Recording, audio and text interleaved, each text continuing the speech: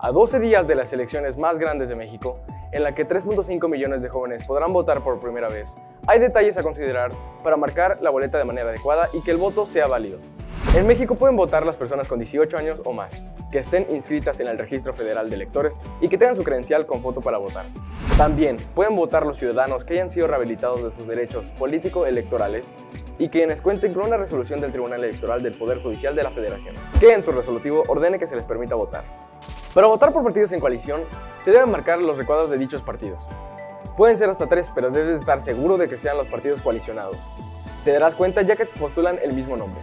Para votar por candidatos independientes, marca el recuadro que le corresponde. Estos se encuentran en la parte inferior de la boleta. Si deseas votar por una candidatura no registrada, solo escribe el nombre del candidato en el recuadro en blanco que se encuentra debajo de los candidatos independientes. El voto queda anulado cuando marcas la boleta de manera inadecuada si marcas toda la boleta o incluso si no la marcas. También debes de tener cuidado de no marcar partidos que no estén en alianza, ya que de esta manera el voto será inválido. Para Grupo Contrapunto, Jonathan Estrada. Síganos en nuestras diferentes plataformas y denle like y compartan este video.